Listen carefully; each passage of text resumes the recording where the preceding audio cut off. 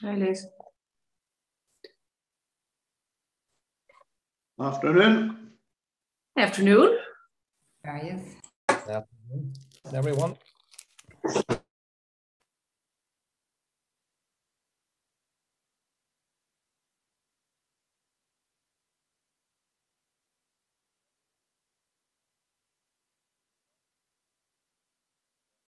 Okay, um, welcome to those who've joined us today for the public session uh, of our board. A reminder to those of our board members who are on Zoom uh, to stay muted uh, uh, as and when you can put your hand up and we'll bring you in.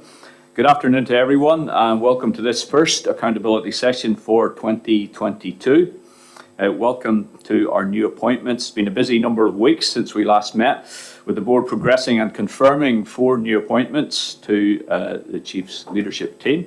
Uh, and the last position of ACO, People and Organisational Development, has now been advertised, so very shortly we will have the full senior team uh, in place.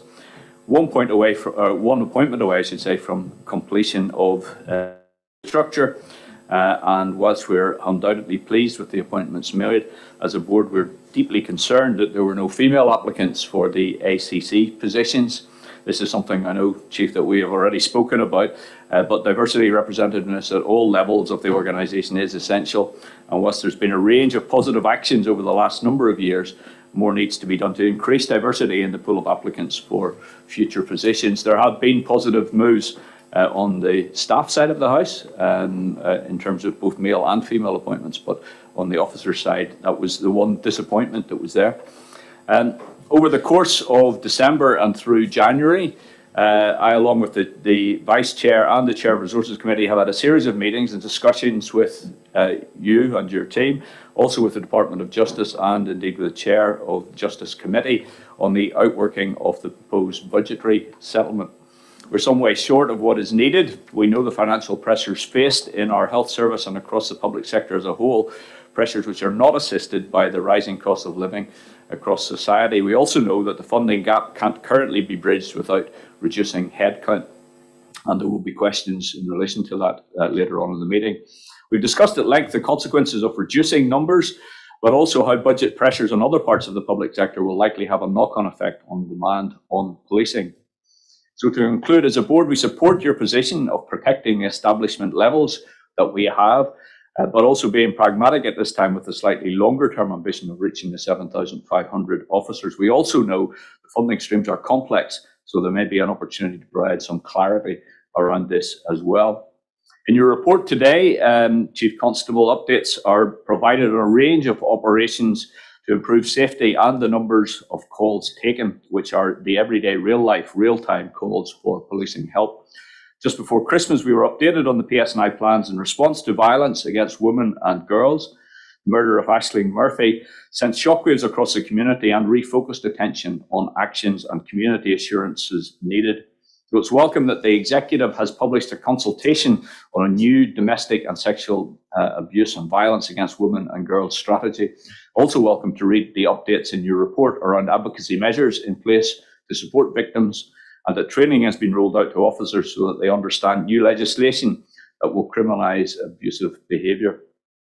On spit and bite guards, uh, which is a subject of significant debate and scrutiny over the last two years by the board and the members of the Performance Committee, um, today the board have agreed that the continued use of spit and bite guards by the uh, Chief Constable will be subject to an agreed frame, governance framework that will be reviewed on a regular basis, and I will be writing to you with the specifics around all of that um, uh, after this meeting.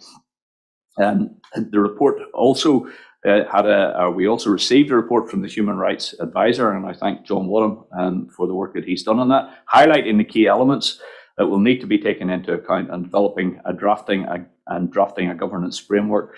These specifically, but not exclusively, include the use on children and vulnerable people, the possibility of greater opportunities for de-escalation, the use once a subject has already been restrained, and officer training and differences in use in relation to community background. So to be clear, the board position is very much subject to this oversight framework being developed uh, and agreed. And finally, before I give you the opportunity to speak, um, step forward this week in terms of the new rollout of practical uniforms for officers. Uh, things don't always move quickly, but the slow boat has arrived with the uniforms uh, on board. Uh, so well done to all involved from that, and they do look well. And Finn, who is in the background of our meeting, has assured me they're very comfortable as well. So uh, well done for that. So uh, we have lots of questions to cover today, Chief. But before we move to those, uh, just if you could highlight some of the things from your report, please.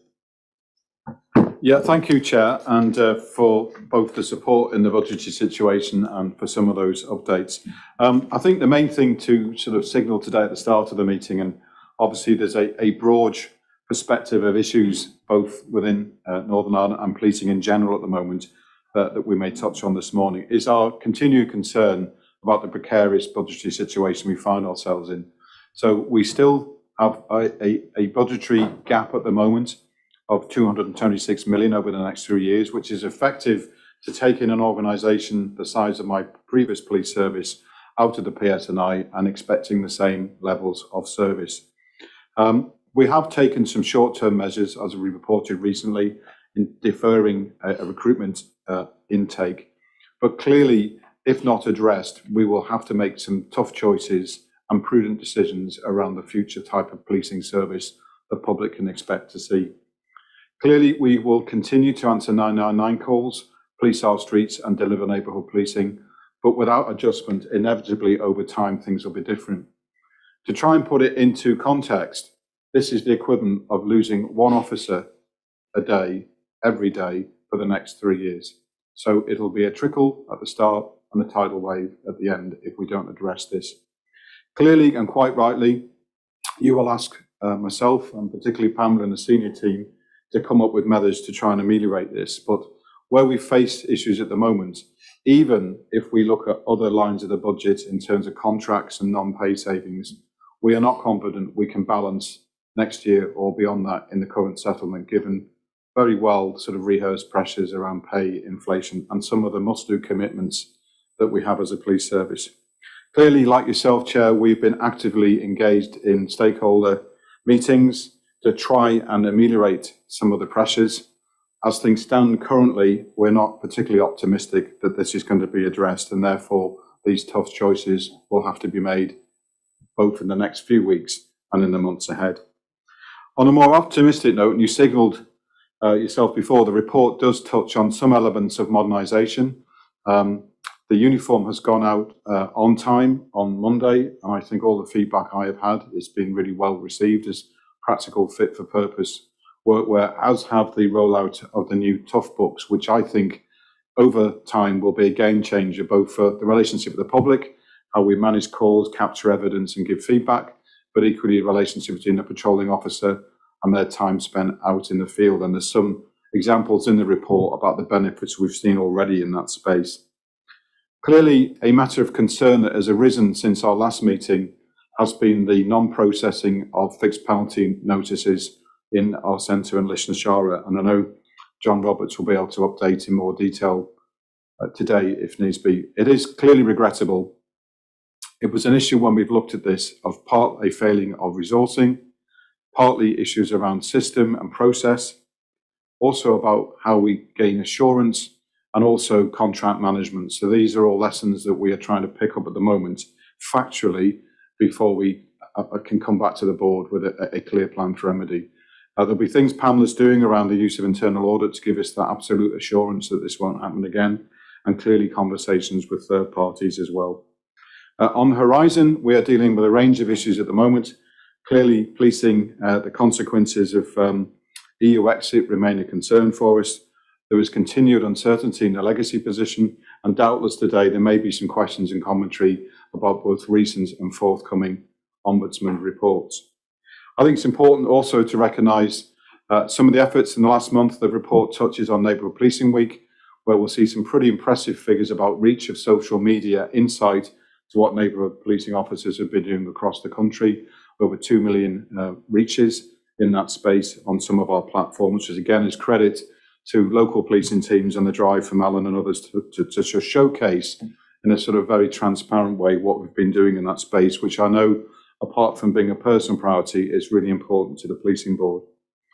Clearly, in relation to other issues, um, The focus on policing in the UK remains unabated. There's been numerous headlines in the last few days about behaviour and conduct elsewhere. It's an issue that particularly Mark has been exercised on, and he'll be able to brief later if needs be on what we're seeing as changing patterns of behaviour and sanctions within the organisation in the light of sort of the focus to address sexual misuse of power in the workplace, uh, crimes in the workplace, and, and so on and so forth, so that we'll be able to give you some assurance there about what we're doing. And then finally, I think, Chair, again, in terms of a signal to the future, we share the, um, the importance of building a team that is diverse, both in terms of our gender and ethnicity and so on and so forth, as well as skills and experience.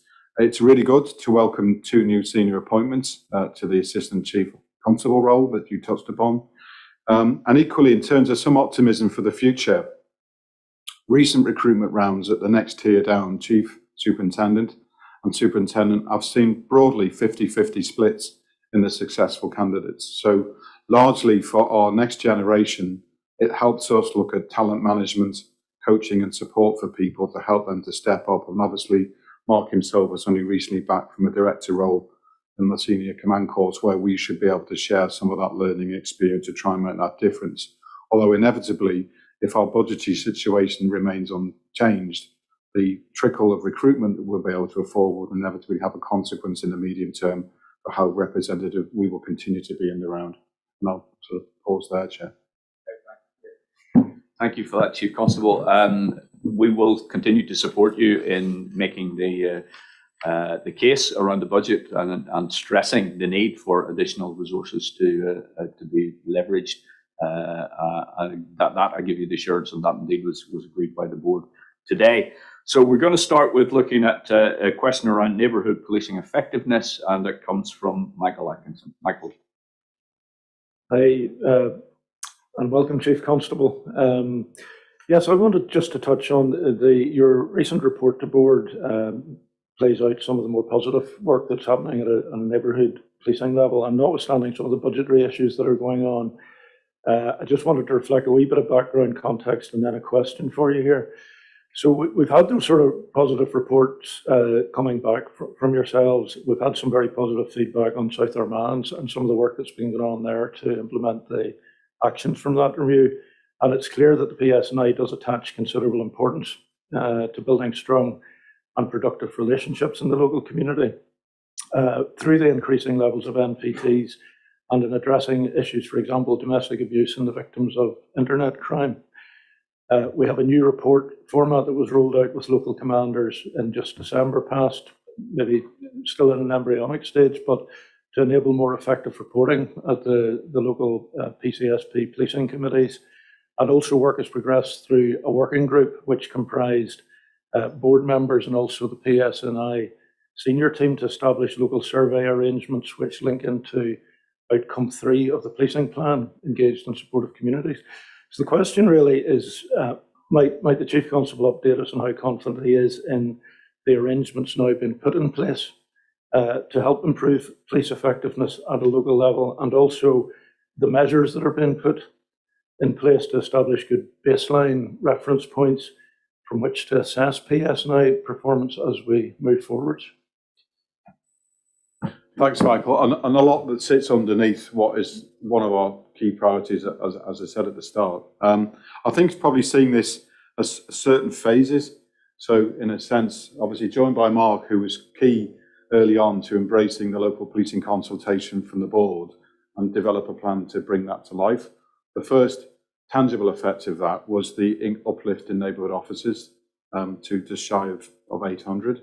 Uh, then the baton passes to Alan, who has tried to settle things down, and ensure, for example, that we've got an officer per ward, that we're working seven days a week uh, on broadly a, a 16 out of 24 shift pattern, and that we're supporting that with an emphasis on problem solving and crime prevention and linking that to training. Clearly, there's been a big push around visibility, both footbeat, bike patrol, to bring that sort of officer on the beat type feel to things. And the next phase, um, I think, will link in directly with your question around sort of evidencing sort of the return on investment and giving a framework as well for both internally and externally people to make judgments. So whilst Alan has started the, the work off, Bobby will now be looking at how we bring to life what I've described as hallmarks for neighbourhood policing. There'll be six, sorry, eight sort of strands to some defined standards that will give a local district commander or an area coordinator to say, this is what this should look like. So whether it's in the, the sphere of visibility, accountability, and so on and so forth, that's in its end stages. And clearly, when we've got a fully formed document, it's something we can share with the relevant committee to give a direction of travel. There's intentions to support that, which is an internal document with a public facing commitment as well as service standards, so that as a member of the public going forwards, whether you're picking the phone up or reporting a crime, there's more clarity what you can expect from us as an organisation, notwithstanding the situation we find ourselves in. So Bobby has been given till April to sort of bring some of this to life. It was nearly finished uh, as it was, and I think that will be the next iteration of how we can evidence we're using these people wisely and productively to protect communities and actually to hit those three challenges that have set the organisation about being visible, accessible and responsive.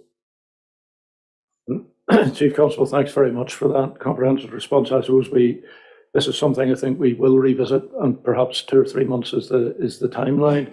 Uh, I just wondered, as well as you know what you've outlined in your answer, whether you felt there were any sort of obvious gaps in the arrangements at the minute, areas how we maybe share best practice or or, or uh, best practice models, uh, even within the, the PSNI or indeed within the, the districts that you might share with us. Yeah, and, and again, I think the thirst for knowledge and, and innovation is something we're really trying to encourage. Um, I, I, could point to personal things I've seen across the country where there's been some standout work in the neighbourhood space. Um, time will probably inhibit some of that today. Um, but I think in terms of, we're keen through Will as well, so some of the work he's doing, developing firstly things we'd say is communities of interest, therefore practitioners sharing their own very granular experience about how you do. Then that's supporting it with what works evidence, both using our, our own frameworks, but also linking more into the UK College of Policing, where there is a what's work element to their website. Um, and also linking it to professionalization, if I can use that word. So there'll be often models of, if for example, in, in the portfolio that Mark leads in terms of a detective, about levels of accreditation and professional practice. So the challenge we're looking at is why don't you create the same route map for a neighbourhood officer? So we're looking at establishing a neighbourhood faculty within the policing college and using that as where you get sort of inducted into the role of a neighbourhood officer and then a, a pipeline of professional development over the course of your career either as an officer or a first line supervisor, to help you with the elements of problem solving, prevention, and policing your community. So that again will be things that we can report on further and you'll see in the months ahead. Thank you very much, Chief Constable. Thank you. And leading on from that, John, a question on neighbourhood policing. Thank you, Chair, and thank the uh, Chief and the senior team for the reports before us today and the information we've received The question um, I want to ask relates to the recent publicity around the um, freeze in recruitment and the um, postponement of the intake of student officers. Um, we're, we're, learning more as this evolves, and I think we know now that the recruitment freeze by itself will not necessarily address the issue of the funding gap. And Chief Constable, your report today, um, as well as highlighting the seriousness of the situation, also points out how the Department of Justice budget has been disproportionately impacted by budgetary proposals. So in light of that, can I ask uh, how this re recruitment postponement is likely to impact um, allocation or filling of posts in the short to medium term and how that will increase in impact if there are further postponements of uh, intake? Yeah, thank you. Well, I suppose it gets to the heart of my opening comments, John, in relation to you know, the, the, the general sort of theme of one officer less a day, if this is not addressed, I know that's not literal, but um, Pamela and Mark run a monthly resourcing meeting where we do prioritise against risk and harm the prioritisation of posts, because regardless of the situation we find ourselves in, we're, we're constantly in churn because of promotions, retirements, etc. So we will have to begin a set of prioritisation as to where vacancies are allowed to fall or, or indeed recruit to the centre I think it's also important to stress that um, whilst the numbers may be dramatically down on our plan, we, we were not freezing recruitment. Still, the proposal is small intakes across the year. as I know Mark from his previous experience in other towns is passionate, as is Pamela, about keeping that lifeblood going because the effects of closing recruitment processes are just so hard to recover from. So that um, I, I think both are, are, are, are valid points to make, but we're trying to sort of ameliorate that. I think by the end of the year, inevitably, we will have to start to set our new budget. Clearly, there's some uncertainty, even with events of today, about where all that may end up. But we will have to continue the scenario planning that Pamela and Mark have begun and come back to the board once we've got clarity about where we assess, even in year one, that reductions in officer numbers are most likely to be seen and where we're going to have to adjust how we police crime and antisocial behaviour and so on and so forth. Thank you for that. Um, Gerry, your question regarding Ombudsman. Margaret Curley, and uh, thank you to the Chief Constable for his report. I want to bring it to the, the recent Ombudsman's report, which was into the Northwest uh, UDA and a number of murders between uh, 1989 and 1993. As you know, in the report, says that in 2016, the senior investigating officer um, heading up the investigation sent the report which involved uh, a connection to an individual and uh, of several murders and attempted murders and a number of evidential links uh, to that. And uh, that the office, the Ombudsman's office, has been on since then asking for an update. Could you give us an update in terms of the status of the investigation and particularly, you know, um, since it is six years ago and there were evidential links to an individual around a number of murders? Um, has has it has it commenced? Has anyone been arrested? Has this individual been questioned and arrested?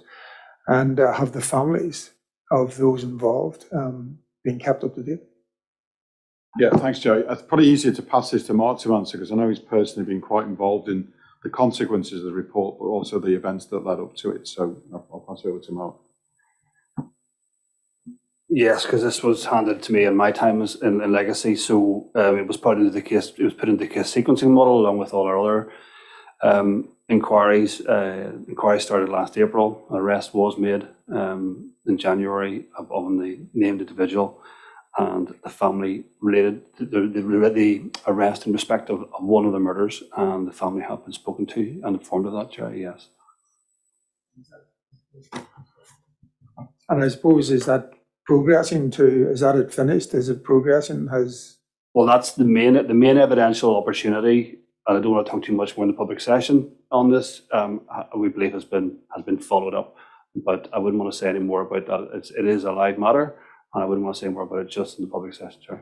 except that it is a live matter and you're continuing the investigation? Yeah, it's a live matter and will be subject, I mean, there has been arrest made and the investigation is ongoing around that arrest. Okay, thank you. Uh, and back online, Dolores had uh, had follow ups on that as well. Dolores.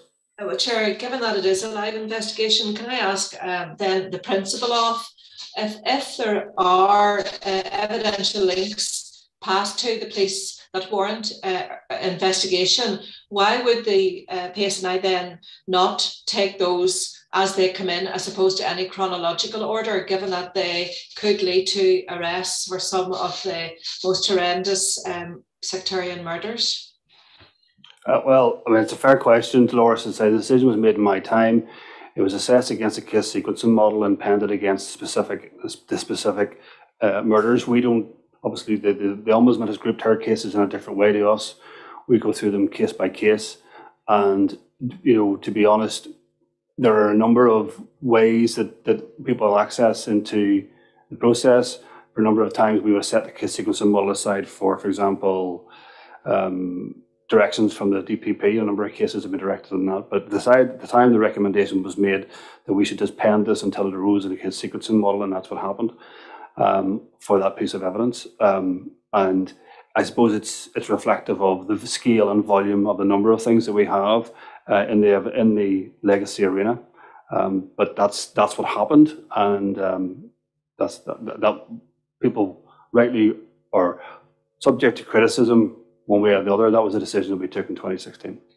Uh, Chair, can I ask, is that decision now going to be reviewed, given that I think many people accept that there aren't going to be many prosecutions, but where there are, is new evidence produced that that should be prioritised, and, and that principle then, uh, in terms of urgent investigations outside of sequence sequencing models, should now be the norm? And are there any other such cases Plus, uh, can I ask in relation to um, the RUC's decision at the time in relation to members of the UDR who were passing information to uh, loyalist murder gangs, whether or not uh, those were investigated by the military police, and if so, given the failures of the military police in the past across a number of investigations, will those cases now be looked at and investigated by the PSNI?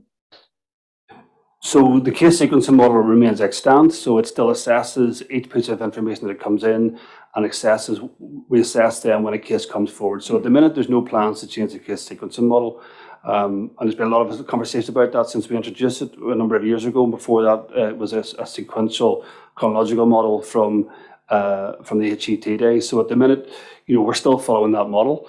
Uh, and at times, then we prioritise cases according to other pieces of information that's come along. So there are cases that, that, that at times we will then take out of out of sequence, and sometimes we get criticised for that as well. In terms of the military stuff, uh, Dolores, um, uh, again, if, as each case comes up, uh, for review, then obviously these matters are being are, are considered. Um, clearly, the ombudsman has pointed out that some of these matters were passed back to the military police. Um, that's not currently within our our under you know our our um, purview. Uh, we don't know what happened with the, with those pieces of information. We know that some soldiers were arrested by the RUC at the time, um, but obviously all these factors have to factor into any review of, of a murder as it, as it as it comes along sorry, Chair, to come back, but given that there are a number of uh, pending PONI reports, which I suspect aren't going to make good reading uh, for the RUC uh, in terms of policing in the past, and, and I do accept the difficulties that it is for the PSNI in terms of public confidence, I would ask that there is a review and where, where there is uh, new evidence uh, to give uh, bolster confidence, particularly those who have been most affected by the heinous crimes, but also uh, uh, I, I, would want to speak further, I think, and, and, hear more about those cases in terms of UDR um, officers who did uh, leak information and provide intelligence to loyalist murder gangs. So I, I don't, I don't think we've got a satisfactory uh, response here, and certainly not one uh, that I would support. Well, I'm, I'm happy to talk to the board again about the case sequencing model and the process that we use to prioritise cases. Um, certainly, if there's an evidential opportunity, then it should be exploited alongside the other opportunities around the case as part of the overall assessment of the case. Um, and that applies to all the cases of the troubles. Um, so, I mean, I appreciate that you don't that you're not satisfied with the answer, Dolores, but that is the process we've been following now for a number of years. Um, it's not without critique from a number of quarters. We accept that.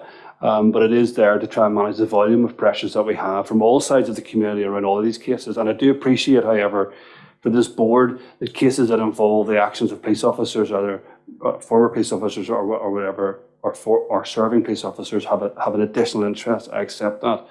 Uh, and we're trying to balance all that against against the volume of cases that we have. But I'm very happy to talk to the board again about this uh, through our legacy branch. Okay, thank you for that. Yeah, yeah just on on what you said, uh, Deputy Chief Constable, uh, if I picked this up right, in, in the Ombudsman's uh, recommendation said that there were a number of uh, of evidential links, but you seem to be saying again and again in, it's in the singular. So is it a number of evidential links? Is that accepted? I'd rather not comment just in the public session, Gerry, because I don't want to misquote myself either. But my understanding is we have discharged the evidential link. Um, my understanding, yes, but please, uh, I, I, would not want to be mis- misquote or mislead the board, and I would need to come back to you to confirm that. And I don't, I would, so that's as much as I can say. Thank you. Okay, thank you for that. Move on to area of arrest and charge rates, and uh, Edgar has a question. Thanks, Chief Constable. Uh, the board has received your written uh, response in respect of the information published in the detail on the differential arrest and charge rates for Protestant and Catholics over a five-year period. A similar differential has been reported in respect of the deployment of spit and bite guards. Your response, however, noted that the largest group of those arrested uh, or charged were classified as other. Now, I appreciate that it's a voluntary choice of the individual to provide uh, information on community background. So, arguably, then determining um, where possible, the community background of the other group would seem to be very important in assessing whether the data potentially indicate uh, indirect discrimination. What steps have the PSNI taken to explore the community background of those classified as other, for example, through secondary sources, or indeed to understand why differences in arrest and charge rates are being experienced? Yeah, thank, a very um, important question around fair use of powers, uh, which we take really seriously. I think there's a few sort of strands to this which we can develop uh, conscious of time. Firstly, we have um, a central governance process, the Policing Powers Delivery Group, which at the moment John chairs, which looks at our use of powers in a variety of settings, and you, you mentioned a couple here. It is a difficult issue because of both legislative constraints um, and, and some of the consequence of, of, of getting this wrong in terms of understanding fully about who and how we're applying our powers to. Um, clearly, um, you, you will see there are some potential answers, and we have already engaged with the Department of Justice, for example, in relation to legislation for the use of stop search powers to require people to provide more information. Um, the other issue here is uh, about how we, on a daily basis, assure ourselves that the checks and balances are there so that each officer has to satisfy custody officer that the requirement for arrest and detention is made. So there's one level of assurance there. In the COVID environment, for the work Alan's been doing, there's been a further check on the necessity for arrest. Uh, and then the patterns are reviewed by John in the Police and Powers Delivery Group. Uh, what we want to see going forwards, though, is where we can get better insight to try and deal with the almost seems like a Donald Rumsfeld type conundrum of what does other mean and how do we get into that pot because the headlines can look stark, but clearly the, the size of the other pot is so big that it could provide an answer to the exam question that are we arresting more people from a Protestant background or Catholic background or whichever way it is, as well as recognizing all elements of diversity. So we are planning to see if there's any academic learning we can bring to this. But I think the other thing that I'm keen to have Chris Todd look at when he comes into post is more lay involvement in local scrutiny of the police use of powers to see if there's that process will bring more of a sort of a laser-like focus on what's happening across the country to see that what we're doing is absolutely fair, justified and proportionate. We can probably report back on that in a few months. And have you looked at any secondary sources in terms of trying to understand the other group? Because I agree it's because of the scale of it, actually, it's bigger than, than, than the, the, the two religious groups. Uh, it could be very significant in terms of the balance. And if you look at census data going back, you, you find a great proportion of other tend to fall into the community background of Protestant. Uh, if you look at the school data as well, similar sort of issue there. So I think it is quite significant. Yeah, we, we, are looking at a, range of options, but also it's it's a it's a sensitive issue, and, and uh, this is the thing we've debated quite a few times about the rigors of, of of that approach. Clearly, we're only discussing this morning, Mark and I, about the census data being on the horizon, and does that provide a different perspective on what the sort of makeup of Northern Ireland looks like? But I think it's probably safer to say, look, if you can, through the chair, to let Chris settle in and have a look at this in the round and bring some further conclusions back in the months ahead because he will have a lot of experience from how the issue of um, use of police powers, for example, on the black community in West Midlands are, are applied, which is similarly difficult and contentious. And probably we want to ask him to bring that experience here to see if there's any learning we can share. Thank you. Uh, on to issue of uh, domestic abuse and indeed police morale, and uh, Joanne has questions in this. Thank you, Mr. Chairman. Thank you, Chief Constable. Um, first, I would like to put on record as this board's trustee in the RUC GC Foundation, um, given some earlier comments, I think it's vitally important that we put on the record that the RUC was a worldwide exemplar on many issues. Um, I'd also like us to remember that the bulk of people who were killed in the Troubles were killed by the IRA, and that the only avenue that those people have for justice is through the case sequencing model. I think it's important that this board remembers it. Uh, Chief Constable, um, my questions are twofold. And the first one is less of a question with regard to scrutiny, but more one of public service and public interest around domestic abuse. Um, your report contains considerable information about domestic abuse, new legislation, and the cost of its implementation. But without question, that crime is significantly underreported, worryingly so. Um, presumably, I imagine, because of the fear of consequences for what happens when it's reported and what happens when the police leave. So, for the sake of those listening, um, and to reassure them and, and encourage them about coming forward, would you please outline to us the options to report and what the steps are whenever somebody reports a domestic abuse incident, please?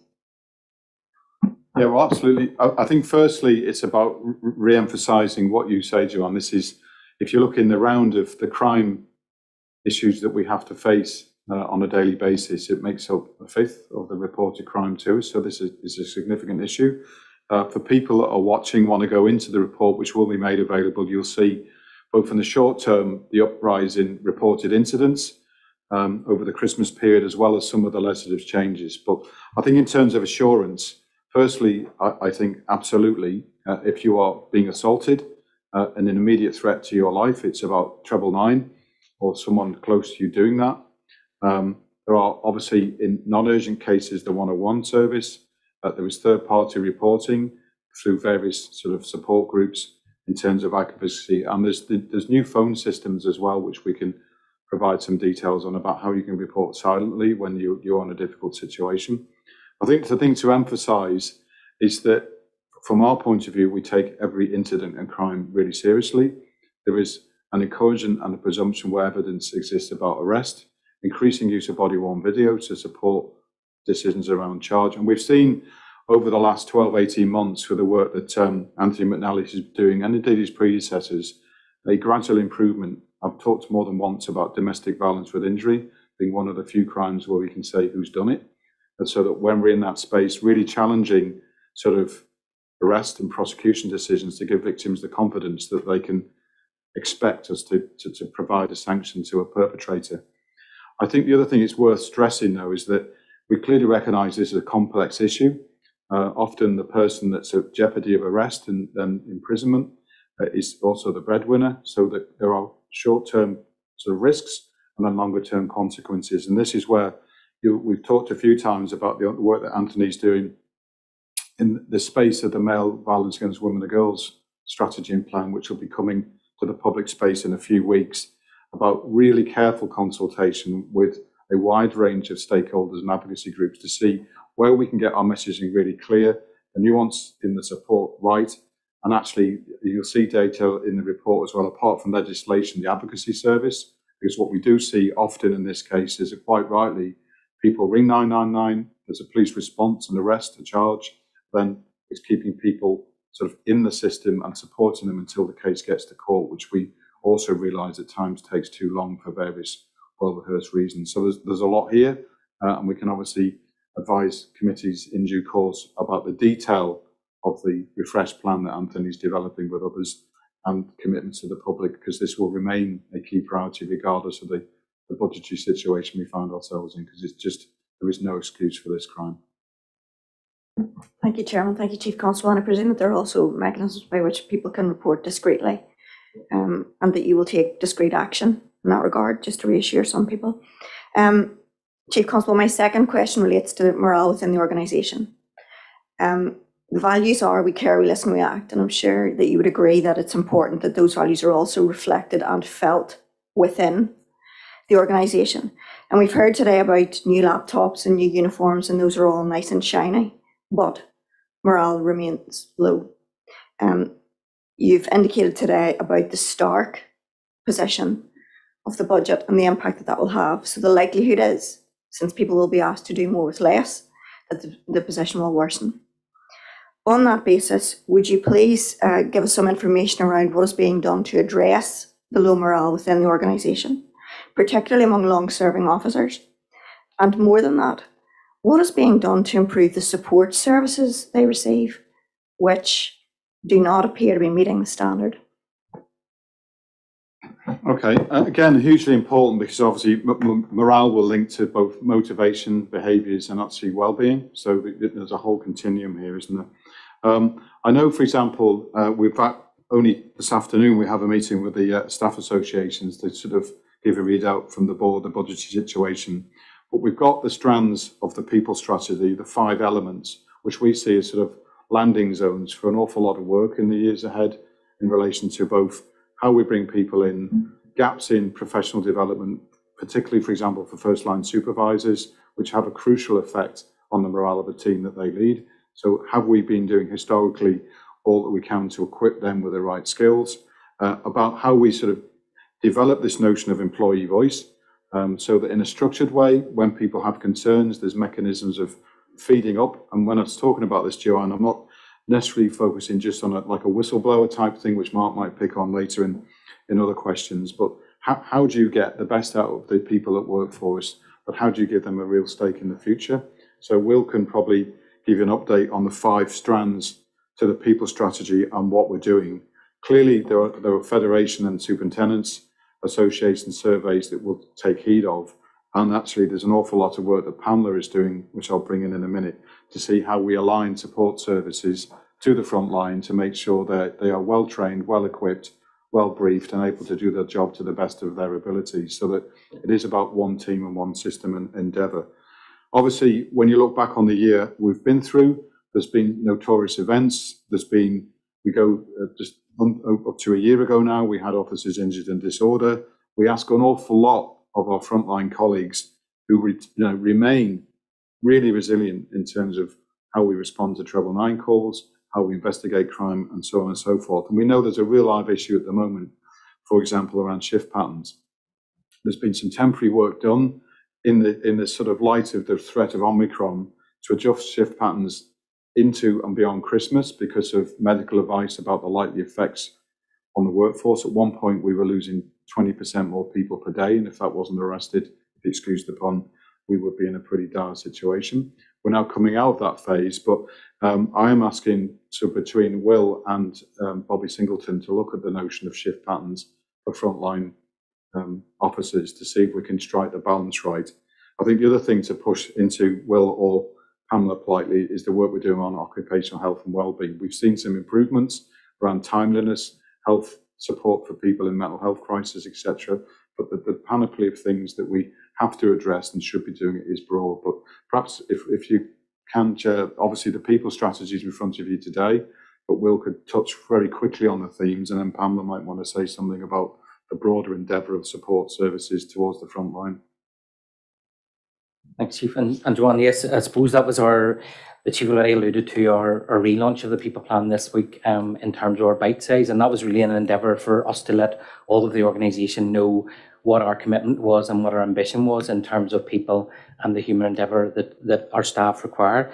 I suppose one of the key things coming out of that is that over the next month, we will be going out to staff to ask them actually under the five principles, what does good look like for them? Because it's great for me to sit in a room or some of my senior colleagues to sit in a room and, and ask that question and navel gaze. But actually, we really need the voice of, of staff to tell us what does that look like. But more importantly, what would success look like? So we do intend to go out and ask them those questions and actually what do we need to do over the next three years of the people plan for us then to get, I suppose, an informed and lived experience action plan coming out of that under the five key principles. Just pick up a few points. Joanne, you're quite right, and I think Will is also referring to those five principles, which is the sort of windmill, windmill effect uh, diagram, is that we will be undertaking pulse surveys across each of those five areas throughout the course of the year. And I think that in addition to the work that we will undertake in the cultural audit, will give us an, an element of an evidential base around morale and how, how the workforce are actually feeling. Uh, and, and moreover, what can we do to improve that for them? You made a comment at the start around the budgetary pressures and do more with less, and, and, and, and you know we need to be we need to be mindful of that, and I am very much focused on that. Um, our whole workforce are extremely busy, pretty much all of the time. Um, and we have to recognise that if we have a reduction in our headcount, there has to be an impact on the service delivery that, that is going with it. We can't ask people to effectively do twice the jobs as we go forward. And I think we have to understand the impact of that on the workforce um, and be more mindful around the well-being um, as we go forward. Will touched on, you know, we've been looking at stronger together, um, you know, looking at each of the support mechanisms and interest groups in the organisation and how we can actually bring all that together to support the whole workforce. Um, but we're also looking at that from within the college, how we can do that, and, and mentoring and coaching within there as well. We have invested heavily through OC Health into mental health and physio and so forth uh, over recent years, um, but that is something that we're we're very focused on ensuring that we've got those supports in addition to peer support and elements of well-being that we're we engage both with um, trade union sides on to make sure that we're we're responding to them. Thank you for that. Um, related issues, question, two questions now online. Firstly, from Linda Dillon uh, on the Sinead McGrotty case, and then one from uh, Deirdre Toner in relation to update on violence against women and girls strategy. So, Linda first. Thank you, Chair. Can I just check that you can hear me okay? Yes, we can. Okay, Chair, just my question is not specifically around the case because I understand that there are ongoing issues and, and I don't want to do anything that would interfere with that. However, I would like an update from the Chief Constable, particularly around, you know, in relation to conversations and questions that have been pre- previously been asked there around, you know, well-being and morale and how staff feel and and we talked about misogyny and questions have been asked around that and the Chief Constable has addressed some of that stuff. But give us an update on what is happening in relation to the chief constable going back to this young woman because we did ask the question and we talked to this um, back in I think it was October um, or November and we were told at that time that the chief constable would be going back to Sinead within a matter of weeks.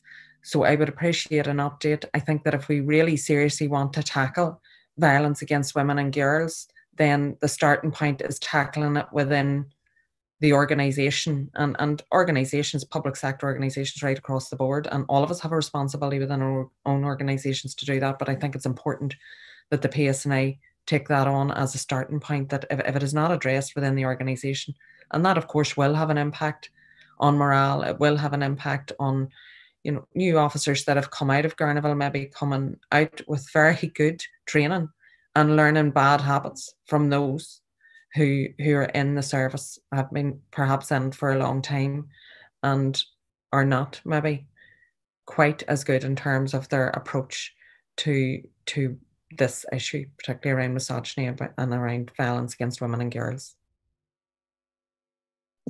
Yeah, thank you, uh, Linda. I think the first thing, it's a bit in the same theme as Joanne's question. It's about signaling a message through here that our determination to root out wrongdoing in this space. There is no place in the police service in Northern Ireland for people that want to abuse the power that comes with their, their position of office, whether it's a constable or indeed a member of police staff. And nor indeed is there any place for predatory sexual behaviour. And Mark is doing a lot of work at the moment in relation to review of uh, previous cases to see if there's any uh, evidential opportunities missed if the decision making is balanced and proportionate, and we put additional resources into the whole misconduct arena uh, to, to give that matter due priority. Clearly, this is goes to the heart of other stuff that Pamela's touching on in terms of this is about tone, which will come from us, our own behaviours, as well as how that is then modelled right across the organisation. And the lessons may be to be learned from the cultural audit, which we can anticipate um, in a few months' time. In relation to the specific case that you mentioned, it wouldn't be appropriate in a public meeting to go into detail. Suffice to say, we've continued dialogue with the individual through third parties, through my office. Um, the recovery of information in relation to this case has been increasingly complex. Um, I am as determined as anybody to get to the heart of this and give meaningful answers to Sinead when we've got a clear position on her concerns and just what has led her to the situation she finds herself in. So uh, we are working. Only yesterday, I was spent, spent most of the day reviewing some of the findings that we've got hitherto, and we are determined to get to the bottom of this, but it is taking longer than we'd anticipated. But that's probably a briefing outside of the public session, Chair. But if you want, it may be a, a, a timely moment to ask Mark and Pamela just to give a few sort of headlines about what we're doing in this space, because I know it's a, a matter of concern to members, both in the response to violence against women and girls, which Bobby's leading on, as well as conduct and culture. Oh, uh, yes, we can have that. Can we perhaps just take Deirdre's uh, uh, question first, and then you can you can respond to that. So, Deirdre. Thank you, Chief Constable and team, and and, and thank you, Chair. Um, it, it's it's not unrelated to, to Linda's. It's more around the tools that are used to actually create a strategy uh, for violence against women and girls. We've got the professional standards and conduct, uh, report and work on that. We've got the people strategy and the cultural audit. To me, they're all linked together to be able to produce a strategy against violence against women and girls and dealing with misogyny. And considering the, the increase in sexual misconduct in the workplace, not just within police forces, but a- across all different organisations, I think there is a time element to this. So you've stated that the strategy against uh, uh, violence against women and girls is coming out public consultation in the next couple of weeks. If I've picked that up incorrectly, please correct me. But also, you're talking about months ahead for the other reports. So how do you align uh, a strategy, uh, you know, that is going to make sense without the, those tools in terms of the other reports feeding into that and acting as measures and impact um, measurement uh, across will this thing will will it work and is it addressing the right areas? And considering there's other areas in terms of the uk government and the college of um, uh, policing have frameworks and national action plans that already in place it's not starting from you know nil. It's there's there's a lot of work out there yeah th- thank you David. well you're absolutely right so probably if I begin by just bringing Bobby in to talk about the work on male violence against women and girls, because I know he's been heavily engaged in the detail of that with uh, Anthony McNally. But you, the, the points you make are very fair in the sense that there is already across the UK national frameworks, so that some of what we're doing is about following, for example, the National Police Chiefs Council agreed strategy, which has come out and is the sort of umbrella from a, a, a positional point of view that we're using so that we don't reinvent the wheel. We are patched into the the national work that uh, a, Deputy Chief Constable called Maggie Blyth is doing from the Home Office, uh, as well as our own endeavours. A lot of this that you're talking about here, I think, when you try and summarise it, is about insight. So both internally and externally, how do we root our strategy on sound evidence and prudent decision making so that the consultation has been going on over the last few months through work that Antti and the team have been doing with the intention to produce something so that that that's nearly at its end phase. But if I can, Chair, perhaps to bring Bobby in for some detail. Yeah, and thanks to Deirdre and Linda for their questions. Um, so I'm pleased to be able to report that the work on the development of our strategy and action plan is well advanced. Uh, we've spent most of the last month, in fact, addressing the issues which Deirdre refers to in terms of ensuring proper organisational alignment and coordination. The next step for us this month is going to be about returning to external consultation revisiting some of the groups that uh, participated in our September uh, 21 listening event, and again taking their views on, on the strategy, which again, Deirdre, you'll be happy to hear does exist, uh, is now in a draft format and is approaching finalisation. In terms of next steps beyond the consultation phase, we're confident that we can have that with internal governance at the start of March, um, and we're aiming to have the finalised document for publication either at the end of March or at the start of April. But of course, in this space, um, our work continues daily. We're not waiting for the strategy and action plan in order to address this vitally important issue. And members will have seen from the Chief's report this month that in December alone, there was significant activity, in particular focused on the area of safety uh, in public spaces. And of course, our work on domestic abuse also continues. It's been raised by Joanne today, and there are significant efforts to ensure that we're doing everything we can there to support victims and also to address the issue of repeat offending as well. Thank you for that. Um, we're going to continue with uh, questions online. Uh, coming to uh, Maurice Bradley next, uh, uh, and then back in house to Trevor. So, Morris. Yeah, Chair, can you hear me? Yes, yep. loud and clear. Thank you very much. Um, thanks to the Chief Constable for appearing today. Uh, Chief Constable, following an, an, editorial which appeared in the Sunday Times on January 23, 2022, former ACC Alan McQuillan makes several allegations centered around the Assets Recovery Agency, of which he was Assistant Director at the time. Mr. McQuillan makes the serious allegations that the Assets Recovery Agency had been directed by the government to target loyalists rather than the IRA he also claims that the ARA were blocked from investigating the multi-million pound smuggling empire controlled by the South Armagh IRA. Further allegations that senior Sinn Féin figures persuaded Tony Blair, the then Prime Minister, to prevent the ARA from probing the financial affairs of top Republicans in South Armagh to maintain their support for the uh, peace process. These are serious allegations. And extremely worrying, especially with low confidence in the PSNI in some unionist areas and amongst the PUL community. Giving a, a, a perception of two-tier policing in Northern Ireland, can I receive an undertaking from the Chief Constable that he will fully investigate the allegations from such a high-ranking former officer into the way the Assets Recovery Agency worked historically and how they are working currently to bring criminals to justice? Uh, also, the allegation that the senior Sinn Féin officers and the Prime Minister who colluded to thwart the proper investigations into crime, criminality, and paramilitarism. Thank you, Maurice. Um, well, clearly these are the, the, the tone of what you're saying represent very serious allegations that would, if you took it to its end degree, would go to the heart of previous government. So I think it's best that rather than rush into a, a sort of partially formed view today, um, we'll, we'll ask uh, Mark McEwen and the deputy to look at the tone and the detail of what you're saying and, and come back in due course with a, a more rounded answer.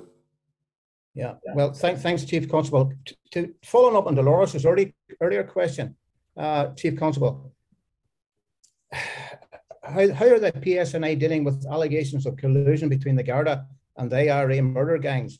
Are officers receiving cooperation from the Irish government and the Garda on these allegations of collusion? And is evidence gathering still ongoing in these allegations, or indeed have the government instructed the old RUC and the current PSNI not to pursue these investigations? Chief Constable, this is no reflection on you or your current team of officers, but serious allegations nonetheless that need to be addressed if confidence is to be restored uh, in the organisation in all sections of our community. Yeah, again, these are very deep-seated and important issues, Maurice, aren't they? So I think Mark probably wants to come in in some of um, the sort of recent past, but it's also reminding us that we have a number of sort of operational lines in this place as the legacy investigation work, uh, given the sort of tone of what you're saying, but also Operation Kenova that's being led by Jon Boutcher, which does have a brief uh, that would, would pick up some of the, the issues that you mentioned. Yeah, and that's correct, Chief Constable. Um, the most recent issues have been through Operation Kenova, and they've been working closely with AGS. And I come back to the point that we proceed through our cases through the case sequencing model, and then we, we follow the relevant the relevant evidential opportunities, and uh, and we'll collaborate with with other agencies to achieve that. Um, and that I mean that's that's effectively where this is. It's on a case by case basis. Thank you. Thank you, Trevor. Thanks, Uh, I suppose firstly, Chief, just put my record, um, following on from what I did ask you questions about the terrorist investigation unit. I'll wait the next briefing in that, maybe to follow that up, but it's just in terms of that whole perception of two-tier policing. But I think whenever we get that briefing next month, that may answer some of those questions. Um, an entirely unrelated subject then, Chief, um, and, and I know maybe Mike had asked questions about the speeding uh, tickets, so I'm not straying into that. area. However, it's about the processing of the police and its administration systems. There was a big review of the firearms licensing a number of years ago, and it was seemed to be in the panacea of all of this investment at uh, at that time about the new system you put in place. Um, I, I probably and against those who were then the firearms dealers were against that at that time. But it's interesting that the, the organisation doesn't seem to have got the grips with the new system, so much so that the applications are taking months and months, is the first point. The second one is there's not also now a suggestion or a rumour within these organisations that you're going to suspend the system now for a couple of weeks, which makes me wonder what is wrong within the organisation that it gets to such a state that you have to suspend the operation of licensing of firearms because the organisation is in such a bad state. There's a suggestion you're going to introduce medicals for every application. And given that the state of the health service is at the moment, and many people in the general public who can't get uh, appointments with their GPs, how does the organisation believe that it's appropriate for 10,000 people a year to go to their GP to get a medical as a requirement for firearms licensing? And, and just to finish this off, I'll just try and do these a series of questions. Um, there's also an understanding with NI Screen. Uh, I mean, Northern Ireland has been very successful with uh, some productions, Northern Ireland by way of film. There had been an understanding in the past that those applications where firearms were used for some of those very successful films that took place in Northern Ireland, those would be turned around in six weeks. I'm told from uh, people within the, the firearms license, or sorry, the firearms, again, that those applications are now taking a year. So if that is the case, Chief Constable, you'd appreciate that there is a huge risk to Northern Ireland PLC in terms of the film industry for bringing some of those very successful films? And could you answer why it's taking so long to turn these around, given previous commitments from your service to turn these around in six weeks? Yeah, thank you. I mean, again, uh, firstly, um, obviously there's been a lot of scrutiny on nationally police approaches to farms licensing in recent months. Um, and, and, we had invested, as, as you know, in, in, a new system that I know Alan, who's here today behind the screen, uh, had, had, done a lot of work to try and speed up and automate where we could sort of routine decision making to make sure there was a balance between the length of time that applications took and a safe application of the process. Um, it is news to me about NI screen. We'll probably have to go away and look at that, as well as decisions around medicals, etc. I don't know if John immediately has any answers for you today. Uh, we weren't anticipating this as a, a particular area of scrutiny. Um, if not, we'll have to take it away and give a more rounded answer. Thanks. I can give some details. So, um, yes, you are, you are correct that there is um, a backlog, and we understand that. Um, in terms of the IT um, gap of two weeks, we are planning an upgrade um, in our IT over um, the next few months. Um, there will probably be a short delay as we migrate from one system to another. It is, uh, and, and the reason for the delay is the migration, which ultimately will have a long-term benefit. We do not anticipate it would be as long as two weeks. Um, the issue of the medicals, um, uh, it, it is a concept that is being floated as a result of the um, incident that, that happened in the southwest of England, um, as is the concept that you'll probably be aware of of social media checks. Those are things that we are aware of. Um, our early assessment of it is that um, neither of them is likely to be viable, but we do remain in conversation with the DOJ and indeed the um, industry in terms of firearm dealers and gun users. And um, we do have uh, new, newly constructed engagement sessions with dealers um, and uh, firearms groups to understand their concerns and explain the position from our point of view. Can I thank for the answer, John? However, the conversation I'm having with the dealers is that that's not the case. The relationships have never been good between yourselves and the dealers, and it's usually a case of you have made a decision and you report that to them in terms of what that decision may be. Could you answer why then if this new system, which was been seen to be the panacea in the past, why it has to be updated so soon? Because that, from my memory, that came at a huge investment to the PSNI at that time. So why so soon after that last investment are you having to update that system so soon? I'd, I'd have to come back to you with the specifics, but in general terms, it's really around faster and more effective um, IT. Um, as all IT systems have different versions come out required to be updated. But I can't come back to you with specifics. In terms of the engagement, these are newly constructed engagement forums um, which have been set up recognizing the uh, dissatisfaction with firearms users uh, across the country. And we do very much want to have a strong relationship and a good understanding. Uh, can I can I welcome that and your comments around that? And I hope I hope that does fix those relationships. And can I also welcome your comments about? I, I think I'm taking a positive from the the medical thing because given that it's just like a car MOT, it's a picture of what someone's condition is that day for a car. Equally, the medical for today is a picture that would never assess their capability to carry firearms three years or three and a half years after that. So I, I welcome that. And recently on NI Screen, are you familiar with application commitments previously of the head of firearms branch, not the current one, but the previous one, had made a commitment to do it in six weeks, and those applications are now taking a year. I'm not familiar with the detail around that, but I'm very happy to discuss it uh, offline. Okay, thank you. If you can come back again uh, on that one. I have two further questions notified. Next one from uh, Liz Kimmins online, and then finally Mike Nesbitt in the room. If there's anybody else, I think all questions should have been covered within private session and public, but if anybody has a burning question, they need to let me know in the meantime. But Liz next. Thank you, Chair. Chief Constable, you had said in December that PSNI would be carrying out a review of previous misconduct investigations and intelligence relating to sexual impropriety by serving officers over the past 10 years to ensure that appropriate investigation investigative actions were taken and a risk and mitigation plan would be applied in each case. I was just wondering if we could get an update on what's happening with that. Yeah, thank you. Well, we have begun that work, but probably bring Mark in to sort of give you some examples of uh, what we put in terms of resource and pace. Yes, so we are, we have commenced that work, um, and at at a future date, I'll give a board specific update on that.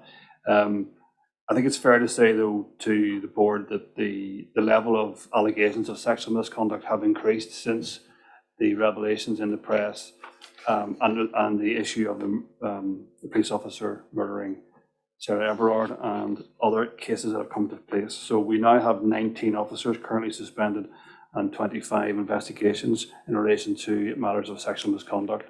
Um, uh, 15 of those suspensions are in the last year, and if we compare that to 2019, when we had five people suspended for similar similar issues, we can see there's been quite a considerable increase. Um, that's clearly a very uncomfortable uh, set of statistics, um, but also I welcome the fact that more people are coming forward, and I have seen in the most recent months more people coming forward to report matters to us, and we're taking a very strong line in investigating those. And there's a number of cases for hearing coming soon. Um, the ombudsman as well uh, is heavily involved in and is, is investigating a number of these cases where they relate to on-duty conduct.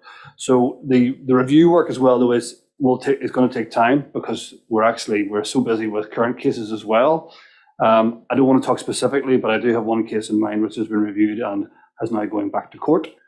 Um, but that review process has started some time ago. So um, we'll have to come back to the board with some more specific detail about the review. It has become time consuming.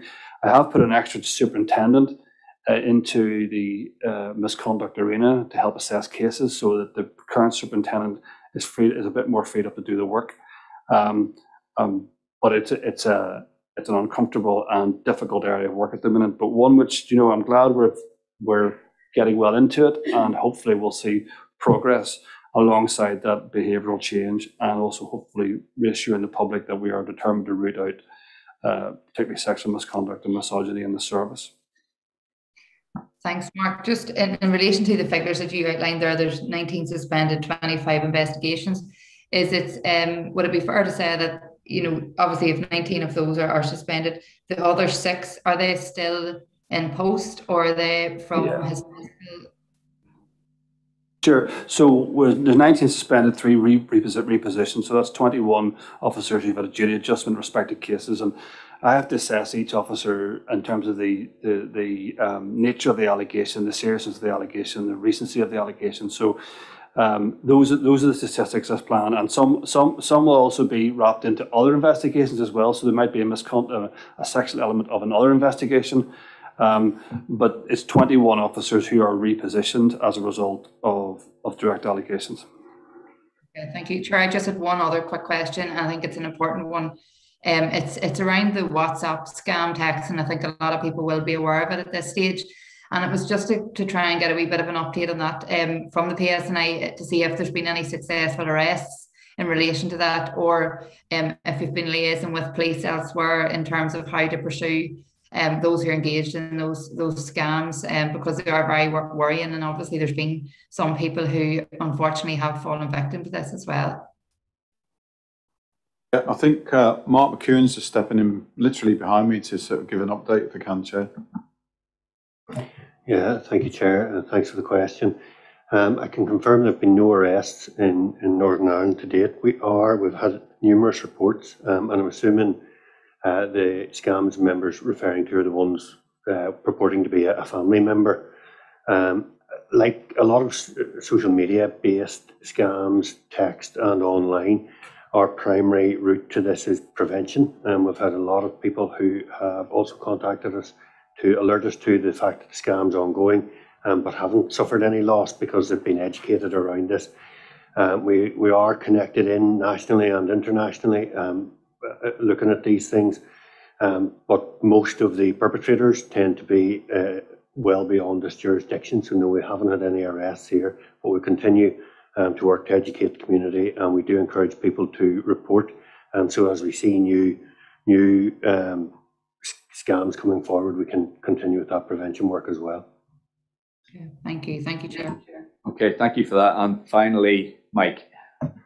Thank you, Chair. A two-parter, if I may. Since the draft budget was published on the 10th of December, we've had a, I suppose, a natural or necessary focus on recruitment and the potentially devastating impact on headcount.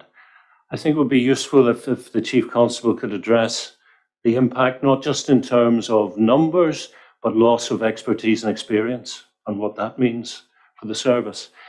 And secondly, uh, alongside budget today, we now have political uncertainty with speculation about uh, a resignation, a resignation my party would not be supportive of, by the way. But in, terms of that, what's the potential impact on other service areas for the police, not least the estate? Because I was certainly expecting that during the next financial year, you will come and say, for example, we've located a venue for the police college there may not be a police board to which to pitch. Yes, well, obviously, um, we're in the shadow of wider political events, I think, this afternoon, Mike. Um, Pamela can give a broad update on the capital plan. I think it's not just about the college. We are keen to sort of develop this campus idea we've talked about a few times, a new head office, crime campus and logistics centre. So we do see it as a package, albeit the college would be first. Uh, clearly, the other issue you, you relate to is obviously um, if we do shrink and we're losing detective experience or other specialist experience, it will put more pressure onto a smaller number of people. Um, but again, that's through the resourcing group that Mark and, and Pamela will be heavily involved on, A, in the short term, and then you sort of pass the baton to Will in the medium term when you go to one of the strands is resourcing for the future and the people strategy you've got in front of you to anticipate where there will be pressures so that even within fewer people, we can adjust where we develop and train so that we're not losing key skills and we succession plan better in some of those very niche specialisms. But do you want to give an update broadly on the capital side? Thanks, Mike. Um, actually, we engaged Department of Justice and Department of Finance yesterday uh, on our state of the estate and indeed our estate strategy that we spoke to you before Christmas on, um, and and the development of our thinking around the college and so forth. So I absolutely agree with you from the point of view of decisions, approvals, delegations. Uh, should this board not be constituted as it is, um, is something that we're continuing to engage both the chief executive and the chair on what mechanisms are there to ensure. Because you're right, it is our aspiration this year that we would be developing uh, the business case and indeed the acquisition for the college and other other other elements around our rationalisation of our estate. Okay, thank you for that. We are, just to assure everybody, looking at contingencies because nobody knows what the fallout politically uh, will be over the, not just today, but the next few months and the election. Um, but clearly, it would make life much more difficult if we don't have a fully constituted board and we don't have the, the relationship that we have currently. Anyway, thank you very much uh, to Simon and all of his team for coming today to take our questions. Thank you to those who've joined us online. Uh, and just to say that our next session it will be on Thursday, the 3rd of March, and we look forward to seeing you then. Thank you all very much.